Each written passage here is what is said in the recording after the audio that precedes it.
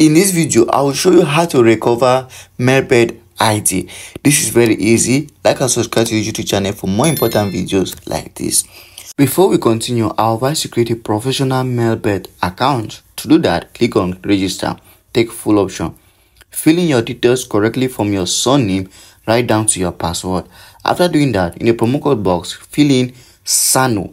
If you fill the promo code SANO, Melbet is going to give you a 300% bonus on your first deposit. This means if you deposit 10,000, you receive 30,000 as bonus. Now let's continue. So if you happen to forget your Melbet ID, this is what you can do to recover it. The first method is coming to your menu here and clicking on your account profile at the top here.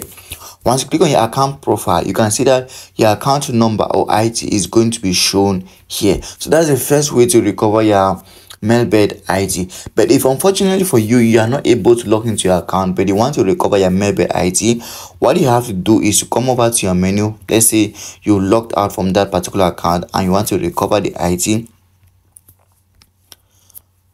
You have to come here and then click on login. If you are using the same device, if you're using the same device then your ID is going to show up here immediately because it's still the same device. Even if you uninstall the Melbet account but if you see the same device the id is going to show you and that's the, another way of recovering your id so if if if it doesn't show here then there is no other way that you can recover your id through Melbet